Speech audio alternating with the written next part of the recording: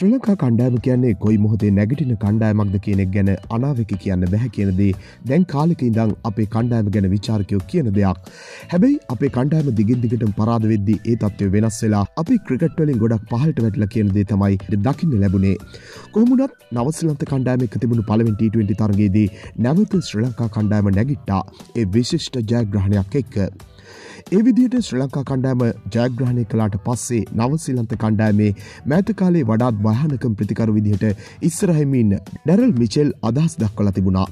අපි කැමති අපේ රටේදී ඕනෑම තරගයක් දිනන්න කොහොමුණත් සමහර වෙලාවට පරාද වෙන්න වෙනවා.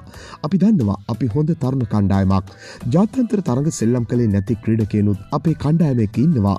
මම හිතන්නේ අපි පරාදුනේ ආසියානු ශූරයන්ට සුපිරි පන්දුවාරයක සෙල්ලම් කරද්දී අත්දකින් ගොඩක් වැදගත් ඇත්තටම අපි යාලට දීපු සටන ගැන මට ගොඩක් සතුටුයි. මොකද අපි පොඩි වැරදි නිසා තමයි පරාදුනේ.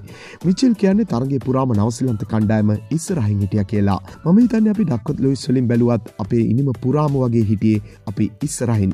කොමුණත් එයාලා සුප පන්දුවාරය හොඳට යව්වා. අන්තිමට චරිත්ගහපු හය තවත් මීටර් දෙකක් මෙහයින් වැටුන නම් අපිට විකට් එකක් ඒ මුණනම් තරගේ වෙනස් වෙන්න තිබුණා. මොකද අපිට වනේ සුපිරි පන්දුවාරේ මුලින් කඩුල්ලක් වැටුන එක. ඒ මුණාම කඩුල්ල අහිමි කරගන්න නැතුව වැඩි ලකුණු ගානකට යන්න තමයි ටාගට් කරන්නේ. ඔය විදිට තමයි මිචල් ශ්‍ර ලංකා කණ්ඩාම ගැන කතා කරලා තිබුණේ. මිචල් අපිට නැවත මතක් කරලා දුන්න වගේ අපි ආසියානුශූරයන් කියනදේ හිතේ තියාගෙන සෙල්ලම් කළොත් අපිට නැවතත් අපේ ක්‍රිකට් ගහන්න පුළුවන් වෙයි. මෙන් වීඩියෝ දෙනපතා බලන්න අපත් සමග එකතුවන්න ඔබ තවමත් අපේ චැනල එක සබස්ක්‍රයිබ් කල නැත්තං දැම්මපිය සබස්ක්‍රයිබ් කරන්නත් ක්‍රිකටවලට කැමති ඔබේ යාලෙකුට බලන්න මේ වීඩියකෂයා කරන්නත් අමත කරන්න එපා.